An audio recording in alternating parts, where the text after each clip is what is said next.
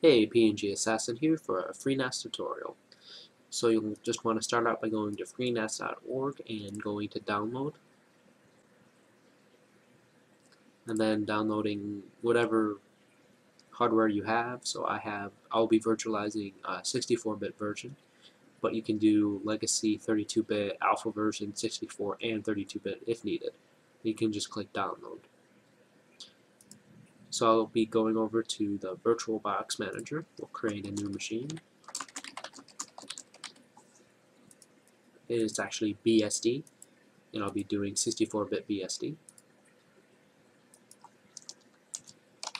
So I'll be using 1 gig of RAM, and it's recommended to use 1 gig of RAM per terabyte of storage. So we'll be fine with 1 gig of RAM.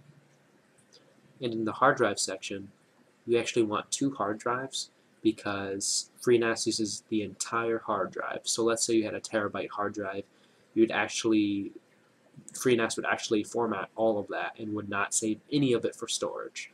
So it's recommended to use a USB stick or you can partition it manually within the disk itself. So I'll just be using VHD.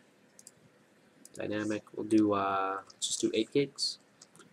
Create then go to settings, storage, new hard disk, create a new hard disk, VHD.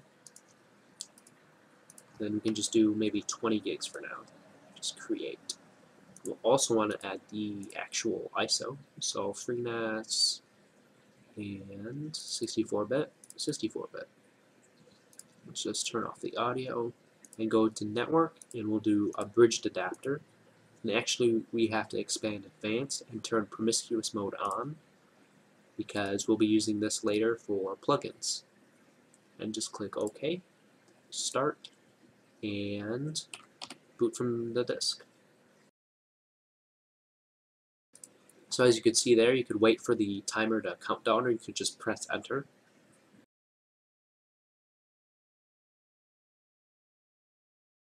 And then it'll come up to this little box. So we'll just do install and upgrade. You can just click enter and then select the smaller hard drive and click enter and just proceed with the installation.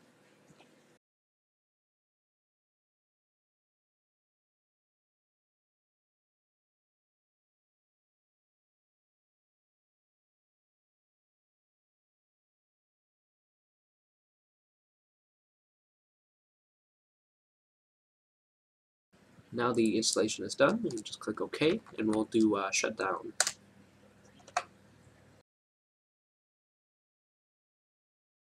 Now we'll go to Settings, Storage, we'll just unmount that so we don't accidentally boot from it. Start, then just press enter, or you can wait and it'll automatically boot into FreeBSD, FreeNAS, whichever you may call it.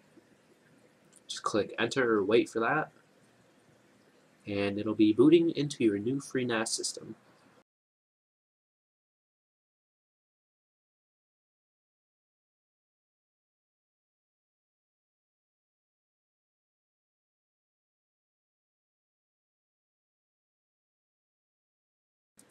As you can see, it has received a DHCP address of 100 or 108 by mistake.